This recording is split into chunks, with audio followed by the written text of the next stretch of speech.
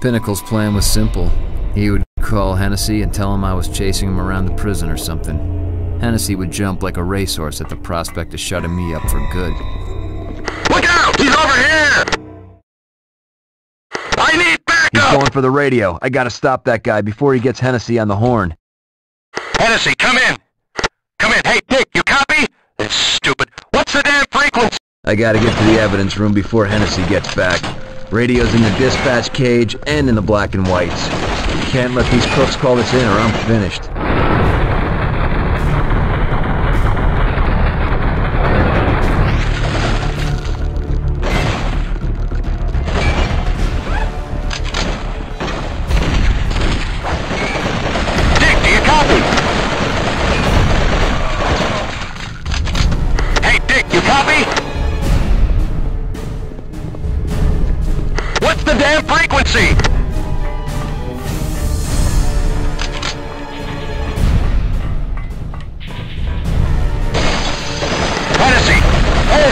Sorry, pal. Can't let you make that call just yet.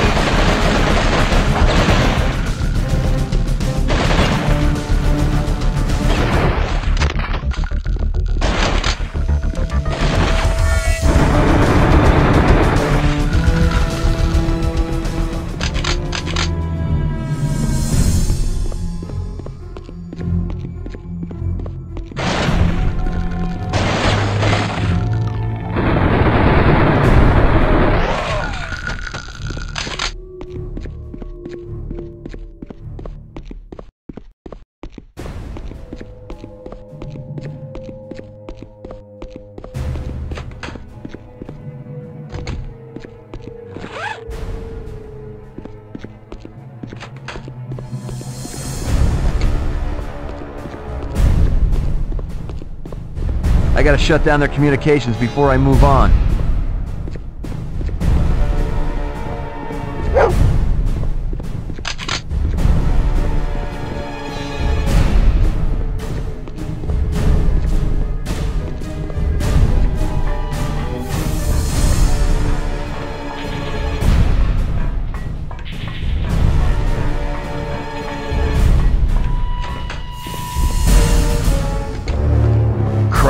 I need a supervisor's login to shut this thing down.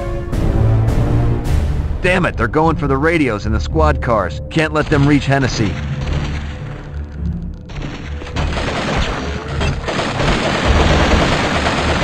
Hennessy, come in! It's stupid. What's the damn frequency?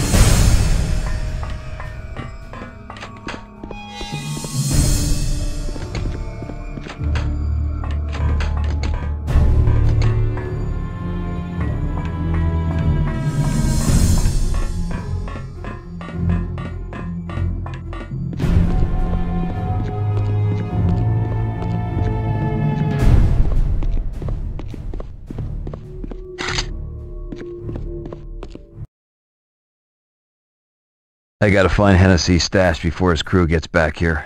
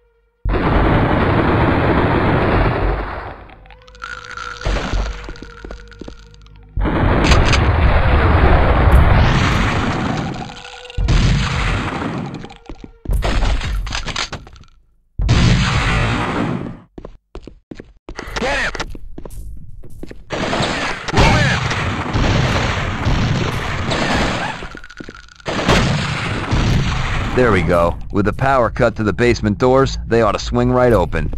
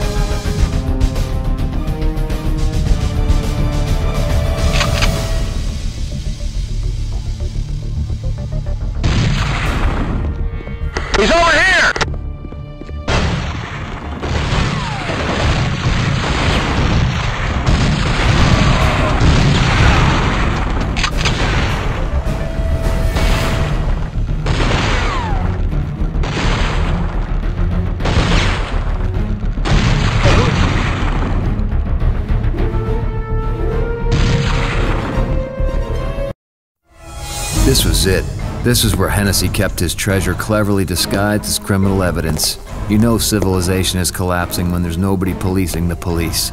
This city is rotting from the inside out. I'd seen those masks before, in the cemetery and at the pier. Now I knew how I'd been blasting. Gak boys in disguise.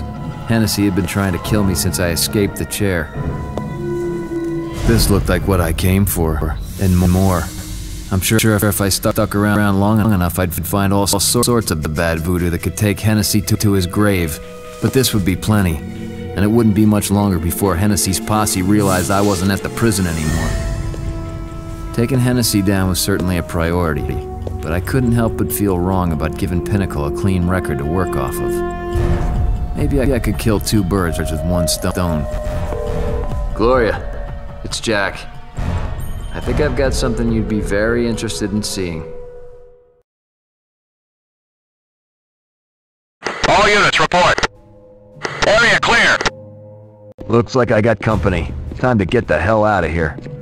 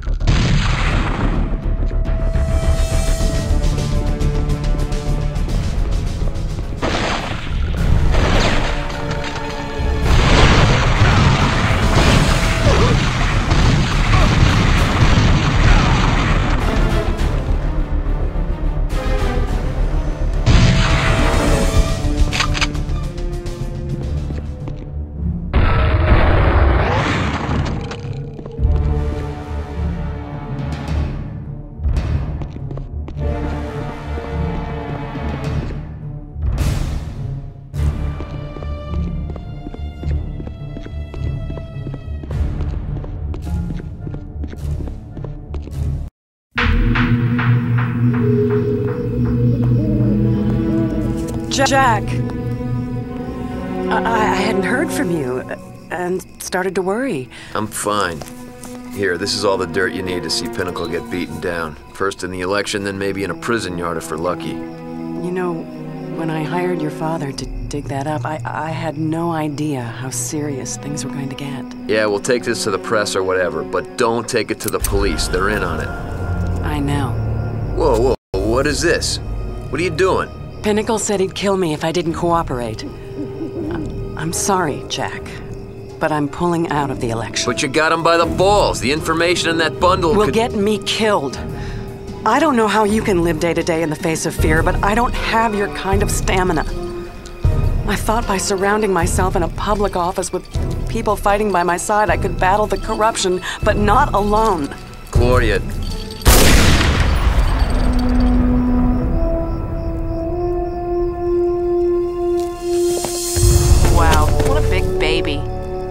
Who'd for her anyway, huh? Hildy, what are you... Where were you? Are you okay? Are you kidding? I'm, I'm fine. I'm set. Finally. What are you... Fahook said the stuff was worth a lot. Promised me a small fortune if I got it for him. And God knows I got bills. Sorry, Jack. Just let me do this. But what about... I, I thought when this was over we could... There is no we, Jack. Your father was killed. I felt bad for you. You were hurt. I helped you out. I'm flattered you thought about me that way, but. Well, you shouldn't. You're saying you'd shoot me? Let's not find out. Look, I've been struggling my entire life. I can't even hang on to a lousy job for more than a couple of weeks. You actually think I could live on a cop's salary, sitting by the phone every night, wait- waiting for that call from the captain telling me I'm on my own again? Please. Just stay out of this, Jack. For your own sake.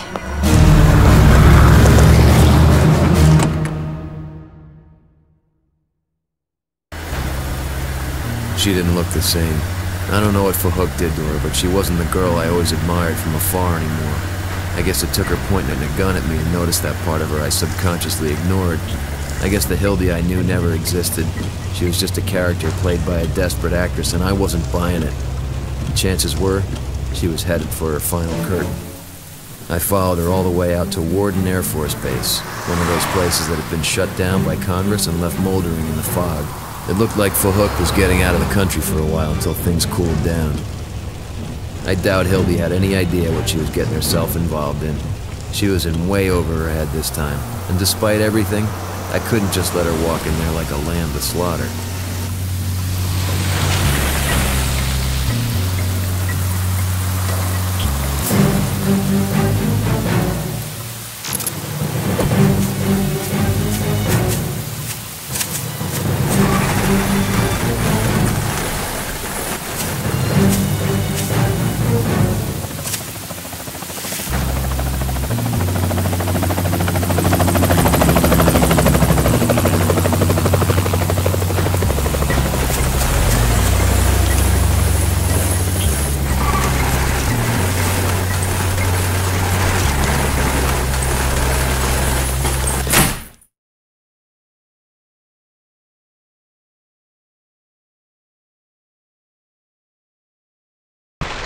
Who, who was that?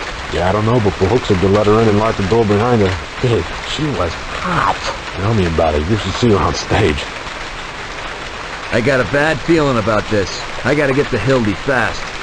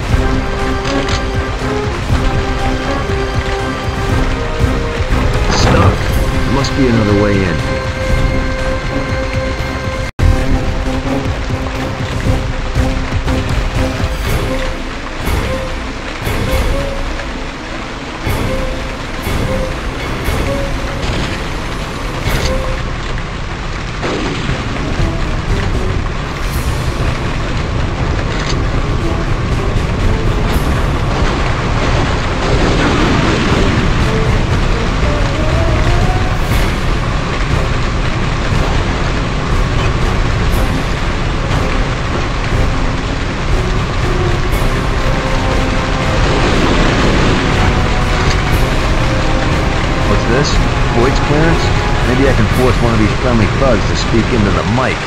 Maybe I should try one of.